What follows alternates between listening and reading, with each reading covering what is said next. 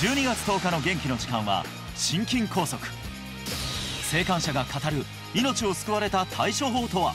調子が悪くなってすぐに上司に電話入れて家の車であの病院まで連れてってくれた。さらに見逃すと危険。心筋梗塞の前兆とは？